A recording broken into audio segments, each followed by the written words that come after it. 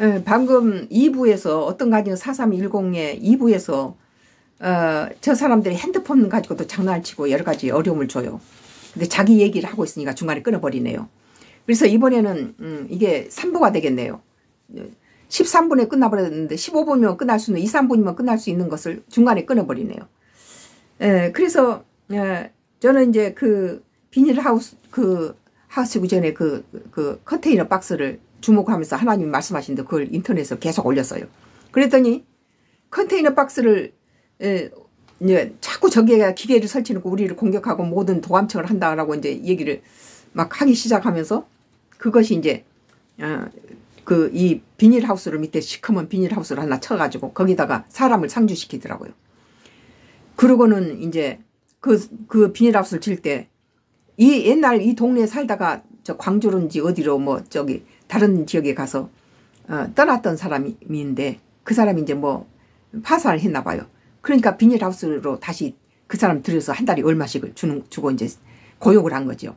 그러니까 동네 사람을 어, 고, 고용을 해서 하나님이 어, 만약에 저, 저자가 너를 죽였을 때 동네 사람은 하나도 같은 종씨 같은 종씨들이기 때문에 다 감춰줄 거라는 거예요. 어, 너, 너, 너를, 너를 죽이, 죽여도 다른 사람, 이 동네 사람이 증인이 되지, 되지 않는다는 거예요. 그러, 그런데 그, 그 사람이 이건 뭐 지어요? 그랬더니 아니 다른 이제 건물을 짓고 있을 때 뭐 하는 거예요? 그러니까 비닐 하우스를 짓는다고 그러더라고요. 공사하는 사람이. 근데 이제 이, 그, 이 저기 고향에서 땅으로 다시 돌아와서 저 Y 기업한테 매수당해가지고 달달이 한 내가 보기에는 한 3, 400씩 받았다고 봐요. 그런데 그 어, 하수인이 에, 저기 어 여기 이거 뭘 짓는 거예요? 그랬더니 아 자기가 살 것인데 여기요 기계실이 들어와요. 그러는 거예요.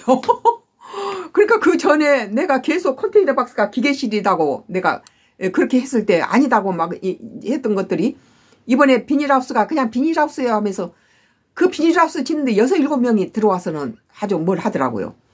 비닐하우스란 건 아주 아주 노숙자 되기 직전인 상태잖아요. 그런데 그런데 어 저기 일곱 여덟 명이 와서 공사를 하는데 밑에다가 시멘트를 깐데 아 비닐하우스면 농사를 짓는데 그게 아니네.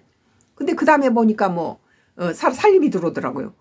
그러면서 그 사람이 기계실이라는 거예요. 여기에 무슨 기계실이 필요한 건가? 그러면 저 컨테이너 박스가 문이 확 열려버리면서 그 열어놓더라고 이제는. 내가 의심했던 게 컨테이너 박스 아무것도 없잖아 이제 이렇게 말한 거죠. 그러고 나서는 그 기계실이 들어온 뒤부터 독가스를 우리 집에 보내고 연기를 품, 품어가지고 내가 쫓아가서 그것을 하나님께서 지금 독가스를 보내고 지금 연기를 치니까 빨리 가서 저걸 정지시키라고 그래서 쫓아 내려갔더니 막 시커먼 우리 집 쪽으로 이렇게 보내는 거예요 이게. 그리고 자기는 저 구석지에서 숨고 그래가지고 그걸 보는 데서 끌으라고 하고 그 다음에 또 온 가족이 막 기침을 하고 어 막 이게 폐가 막 따끔거리고 막 어, 통증이 오는데 그 전에 폐를 낳았는데 다시 재발시키기 위해서 저기 저런다는 거예요.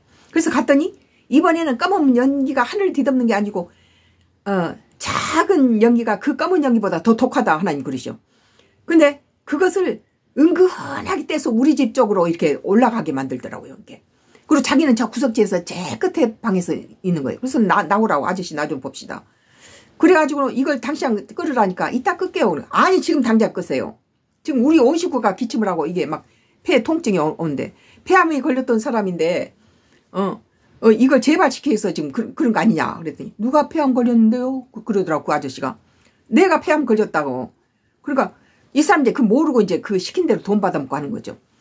그래가지고 본, 만약에 이런 걸 틀려면은 저 구석지 저쪽으로 하라고 우리 집 저 대문 쪽이 말고 이런 것을 태우려면은 그리고 요새 세상에 태운 사람이 어디 있느냐. 어. 그래가지고 이제 그, 그 사람이 그, 그런 상태였는데 어.